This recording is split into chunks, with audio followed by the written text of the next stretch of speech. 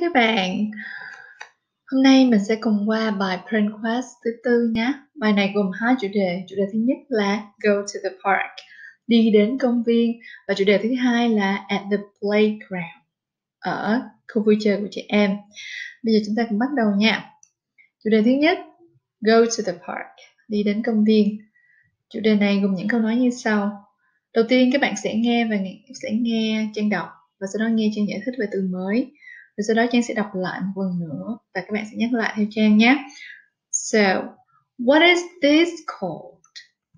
It's a fountain. Fountain là cái đài phun nước các bạn nhé. Now repeat after me. Nhắc lại cùng Trang nhé. What is this called? It's a fountain. Tiếp theo. What is Max doing? He is hiding. Max đang làm gì thế? Bạn ấy đang trốn. Hiding là trốn.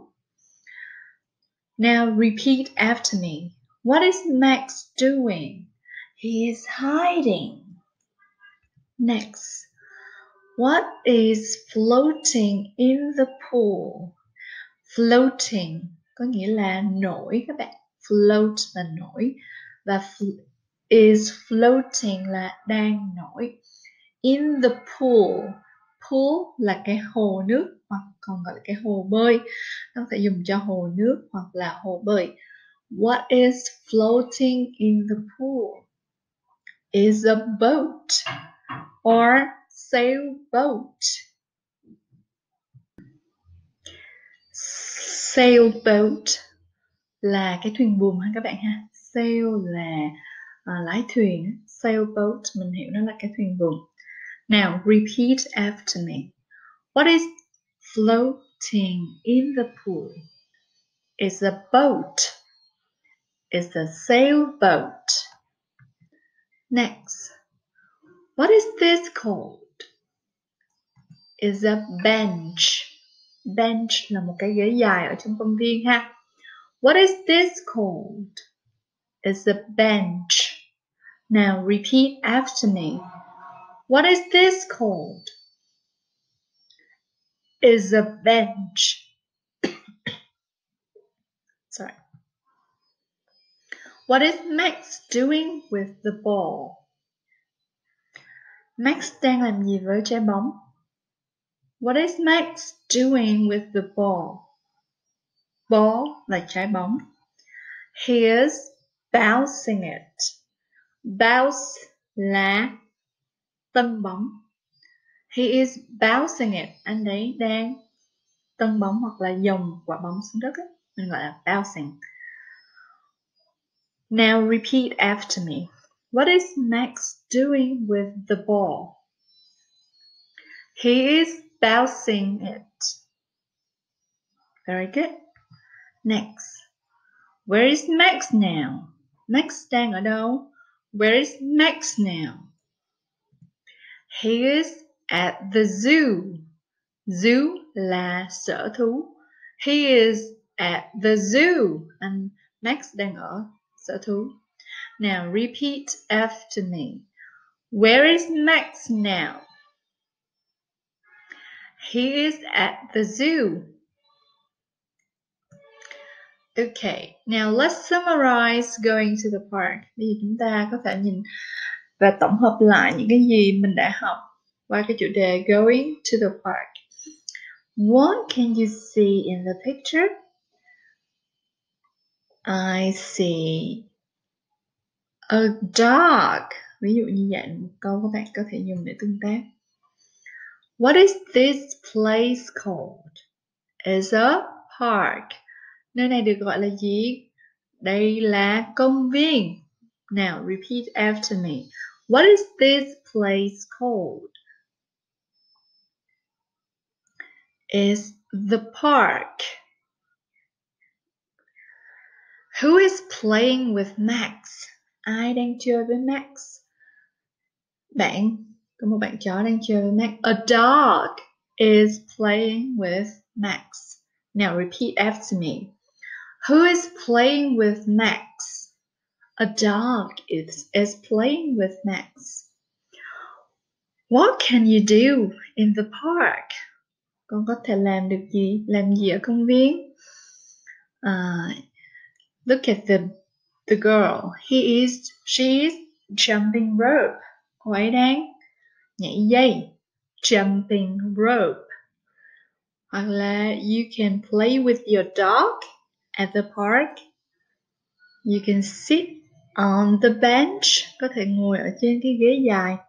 Okay you can walk, you can run, có thể đi hoặc là có thể chạy at the park. Okay, so our next topic is at the playground. Topic tiếp theo của mình là ở khu vui chơi trẻ em. Playground. Now repeat after me. Playground playground What is this called? Đây là cái gì? Is a tricycle. Tricycle là xe đạp ba bánh của trẻ em ha. Try có nghĩa là ba khi bạn thấy một cái chữ try nó đứng trước một cái từ gì đó nó thường mang nghĩa là số 3. Ví dụ triangle là ba cái góc có nghĩa là hình tam giác. So, is a tricycle. Is a tricycle có nghĩa là nó là một cái xe đạp ba bánh. Now repeat after me. What is this called? It's a tricycle. Very good. Continue. What is Max doing? He is running. He is running. Max đang chạy. Now repeat after me. What is Max doing? He is running. Next, who is going up the ladder? The ladder có nghĩa là cái cầu thang. The ladder là cái cầu thang. Who is going up the ladder? Ai đang leo lên cái cầu thang? Leo lên cầu thang là going up the ladder. Go up the ladder. So, câu trả lời là The dog is going up the ladder. The dog is going up the ladder. Bạn chó đang leo lên cầu thang. Now repeat after me. Who is going up the ladder? The dog is going up the ladder. Trong hình này các bạn nhìn thấy đó là một cái cầu tuột ha. Cái cầu tuột bạn, chó đang leo lên cầu thang để trượt xuống. Cái cầu tuột tiếng Anh mình là slide. Slide. Okay. Next. What is this called? What is this called? Is a swing. Swing là cái xích đu. Is a swing. Now repeat after me. What is this called? Is a swing. Is a swing. Next, what is Max doing? He is jumping. He is jumping. Anh ấy đang, Max đang nhảy. Jump. Now repeat after me. What is Max doing? He is jumping. Very good. Next, who is pushing Max on the swing? Push là đẩy. Pushing là đang đẩy. Who is pushing Max on the swing? On the swing có nghĩa là trên trên cái xích đu. Ai đang đẩy Max? Ai đang đẩy cái xích đu cho Max? Who is pushing Max on the swing? The rabbit. The rabbit. Bạn thỏ, bạn thỏ đang đẩy cái xích đu cho Max. Ai đang đẩy cái xích đu cho Max? Mình hỏi như thế nào? Who is pushing Max on the swing? The rabbit is pushing Max on the swing. Now, repeat after me. Who is pushing Max on the swing? The rabbit is pushing Max on the swing. Very good. Now, let's summarize it. Bây hãy tổng hợp lại at the playground. Which one is Max? Là bạn Max nào? Which one is Max? Thì mình sẽ chỉ ha, mình sẽ chỉ vô cái hình Here is Max. Nó là một cái câu bạn có thể hỏi, dùng để hỏi uh, để xem là con đã hiểu chưa. Ví dụ như là con có thể là Which one is the rabbit? Which one is the dog? Now repeat after me. Which one is Max? Very good. Who is on top? On top có nghĩa là ở trên cùng Top là cái mặt trên cùng. Top là cái đỉnh. Ok. Ai đang ở phía trên cao nhất? Who is on top? Câu trả lời là is the dog. Now repeat after me. Who is on top? Is the dog. Very good. Now, câu tiếp theo. Would you like to play too?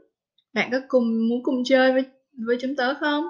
Would you like to play too? Would you like to? Để hỏi một người nào đó có muốn làm một cái gì hay không? Would you like to? Ví dụ mình muốn hỏi con, con con muốn uống nước không? Would you like to drink some water? Con có muốn ăn chuối không?